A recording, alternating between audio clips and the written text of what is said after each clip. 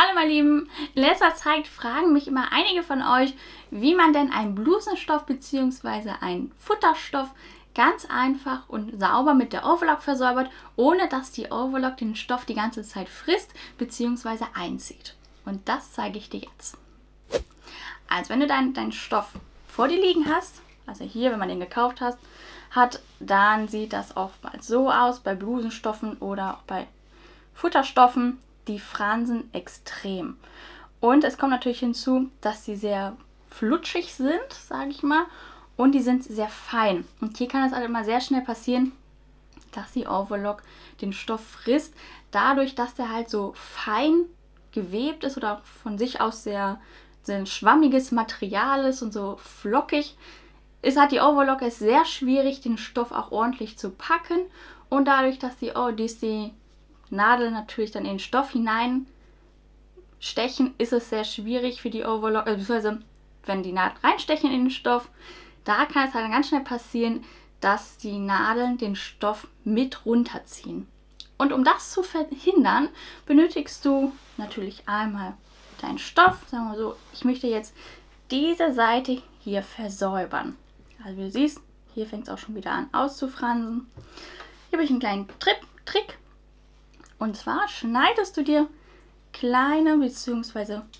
schmale Fließstreifen. Also hier ist das Bügelflies. Ich habe jetzt hier einen Blusenstoff und habe jetzt hier das Vlies H200. Wenn du jetzt aber einen Taffstoff jetzt versäubern möchtest, hier empfehle ich dir ein noch feineres Vlies zu verwenden. Und zwar empfehle ich dir hier das H180 zu nehmen, denn es kann sein, dass das H200 doch ein bisschen zu stabil ist für sehr feine Stoffe. Also ich habe jetzt hier das H200 und hier kannst du dann auch einmal an deinem Stoff eine Probe nähen, um zu schauen, wie breit die Naht ist. Sagen wir mal, also ich habe jetzt die eine Nahtzugabe von 4 mm bei der Overlock, also schneide ich hier den Streifen so 2 bis 3 cm mehr, also so 5 bis 7 mm kannst du ruhig den Streifen zuschneiden. So, und dann legst du die linke Seite bzw. die Klebeseite von dem Vlies auf die linke Seite vom Stoff und zwar hier direkt an der Stoffkante. Und dann bügelst du das Vlies einmal, wie es der Hersteller vorgibt. So, ich habe das Bügelvlies jetzt hier drauf gebügelt. Falls du dich jetzt fragst, ja Jana, du hast jetzt aber nur ein kleines Stückchen hier. Was ist denn, wenn ich jetzt zum Beispiel einen langen Rock füttern möchte.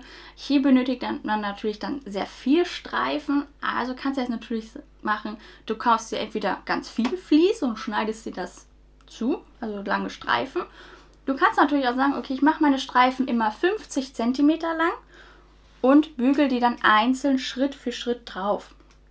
Denn hier ist natürlich nicht, also man sieht die Schritte bzw. die Oberge Übergänge von dem Vlies ja später eh nicht. Also kannst du hier natürlich dann Stück für Stück die Stoffkanten mit dem Vlies bügeln. Jetzt hast du das gemacht und jetzt kannst du das ganz einfach mit der Overlock versäubern. Hier kannst du das auch am besten ist es, wenn du das Vliesstück jetzt nach unten legst, denn wir haben ja hier an der Overlock den Differentialtransport und wenn du wirklich sehr empfindliche Stoffe hast, dann kann es auch hier passieren, dass das Differentialfüßchen oftmals den Stoff mit also ein, so packt und dann kann es sein, dass hier so kleine, dass kleine Fädchen gezogen werden. Um das zu verhindern, kannst du dann das Vlies, also legst du das Vlies beim Nähen nach unten. Also dann legst du es so drauf, dass du nur hier oben den Stoff siehst und auf der Unterseite hast du dann dein Bügelvlies. Und da wir hier jetzt natürlich auch nur versäubern, habe ich die linke Nadel entfernt. Wenn du jetzt natürlich zwei Stofflagen vernähen und versäumen möchtest in einem Durchgang, dann setzt du natürlich ganz einfach wieder die zweite Nadel ein. Wenn du das gemacht hast, dann kannst du auch ganz einfach anfangen zu nähen.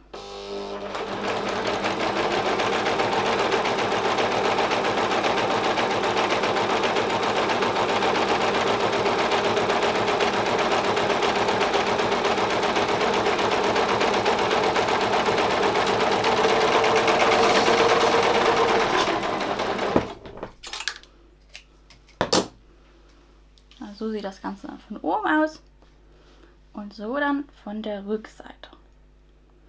Wenn du jetzt sagst, ich möchte, dass der dass das Vlies wirklich nur an der Overlock hier, an der Overlocknaht endet hier unten, dann musst du das Vlies natürlich ein bisschen feiner bzw. schmaler zuschneiden. Weil der ganze ist, ne, ist natürlich dahinter, dass so der Stoff nicht gefressen wird, da das Vlies dem Stoff Stabilität gibt und der, die Overlock schafft es so, den Stoff besser zu transportieren und es wird verhindert, dass der Stoff eingezogen wird von der Overlock. So, ich hoffe, ich konnte dir mit diesem Video wieder ein wenig weiterhelfen. Falls du irgendwelche Fragen haben solltest, dann schreib diese gerne unten in die Kommentare. Ich versuche so schnell wie möglich zu antworten. Und falls du auch so spezielle Fragen haben solltest, wie jetzt gerade, dann kannst du das natürlich auch gerne unten einmal hinschreiben. Ansonsten wünsche ich dir einen wundervollen Tag und bis zum nächsten Video. Deine Jana.